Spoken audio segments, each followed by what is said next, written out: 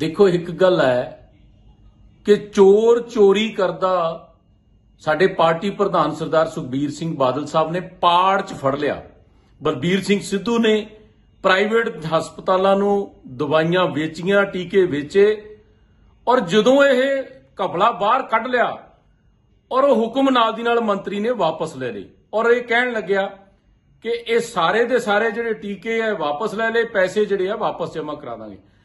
ਹੁਣ ਕੋਈ ਚੋਰ ਚੋਰੀ ਕਰਦਾ ਫੜਿਆ ਗਿਆ ਹੋਵੇ ਕਹਦੇ ਮੈਂ ਸਮਾਨ ਜਮ੍ਹਾਂ ਕਰਾ ਦੇਣਾ ਤੇ ਮੇਰੇ ਤੇ ਕਾਰਵਾਈ ਨਾ ਕਰੋ, ਇਹ ਕਿੱਡੀ ਹਾਸੋਹੀਣੀ ਗੱਲ ਹੈ। ਉਹਦੇ ਤੇ ਤਾਂ ਐਫ ਆਈ ਆਰ ਮੁੱਖ ਮੰਤਰੀ ਸਾਹਿਬ ਨੇ ਜਾਂ ਪੰਜਾਬ ਦੀ ਪੁਲਿਸ ਨੇ ਕਰਨੀ ਕੀ ਹੈ? ਅੱਜ ਸਾਡੇ ਤੇ ਉਹਦੀ ਬਰਖਾਸਤਗੀ ਲਈ ਔਰ ਉਹਦੇ ਤੇ ਐਫ ਆਈ ਆਰ ਦਰਜ ਕਰਨ ਲਈ ਜਿਹੜੀ ਅਸੀਂ ਧਰਨਾ ਦਿੱਤਾ, ਸਾਡੇ ਤੇ ਐਫ ਆਈ ਆਰ ਕਰਤੀ ਹੈ। ਸ਼੍ਰੋਮਣੀ ਅਕਾਲੀ ਦਲ ਤੇ ਐਫ ਆਈ ਆਰ ਕਰਤੀ ਹੈ। ਔਰ ਮੈਂ ਸਮਝਦਾ ਕਿ ਇਹ ਉਹਨਾਂ ਦੀ ਬੁਖਲਾੜ ਦਾ ਨਤੀਜਾ ਹੈ। ਇਹ ਮੁੱਖ ਮੰਤਰੀ ਸਾਹਿਬ, ਇੱਥੇ ਗੱਲ ਮੁੱਕਣੀ ਨਹੀਂ। ਇਹ ਤੁਹਾਡੇ ਮੰਤਰੀ ਨੂੰ ਬਰਖਾਸਤ ਕਰਨਾ ਪੈਣਾ ਔਰ ਇਹਦੇ ਤੇ ਪਰਚਾ ਦਰਜ ਕਰਕੇ ਫੜ ਕੇ ਅੰਦਰ ਸੁੱਟਣਾ ਪੈਣਾ। ਔਰ ਦੂਜੀ ਇੱਕ ਮਿਲੀ ਭੁਗਤ ਬੀ ਟੀਮ ਨਾਲ ਹੋਰ ਸਾਬਤ ਹੋ ਗਈ। ਆਮ ਆਦਮੀ ਪਾਰਟੀ ਨੇ ਕੱਲ ਦਾ ਧਰਨਾ ਦਿੱਤਾ ਸੀ ਤੇ ਕੋਈ ਕਾਰਵਾਈ ਨਹੀਂ ਕੀਤੀ। ਤੇ ਅੱਜ ਜੇ ਸਾਡੇ ਤੇ ਐਫ ਆਈ ਆਰ ਕਰਨੀ ਸੀ, ਤੇ ਫਿਰ ਬਹਾਨੇ ਨਾਲ ਉਹਨਾਂ ਤੇ ਵੀ ਐਫ ਆਈ ਆਰ ਦਰਜ ਕਰਨੀ ਪੈਗੀ।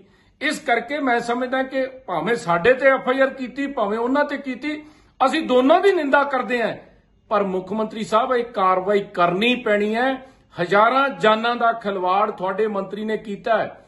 ਇੱਕ ਮੌਤ ਦੀ ਸਜ਼ਾ 20-20 ਸਾਲ ਲੋਕ ਵੱਜਦੇ ਆ ਤੇ ਤੁਹਾਡੇ ਮੰਤਰੀ ਨੇ ਤਾਂ ਸੈਂਕੜੇ ਮੌਤਾਂ ਦਾ ਜ਼ਿੰਮੇਵਾਰ ਜਿਹੜਾ ਤੁਹਾਡਾ ਮੰਤਰੀ ਹੈ ਔਰ ਤੁਹਾਡਾ ਡਿਪਾਰਟਮੈਂਟ ਆ, ਤੇਰੀ ਤੁਹਾਡੀ ਸਰਕਾਰ ਹੈ ਤੁਰੰਤ ਇਹਨੂੰ ਬਰਖਾਸਤ ਕਰਕੇ ਇਹਦੇ ਖਿਲਾਫ ਪਰਚਾ ਦਰਜ ਕਰੋ। ਵਰਨਾ 15 ਤਰੀਕ ਨੂੰ ਤੁਹਾਡੇ ਘਰ ਨੂੰ ਵੀ ਘੇਰਾਂਗੇ। ਤੁਸੀਂ ਜਿੰਨੀਆਂ ਐਫ ਆਈ ਆਰਾਂ ਦਰਜ ਕਰਨੀਆਂ, ਕਰ ਲਓ।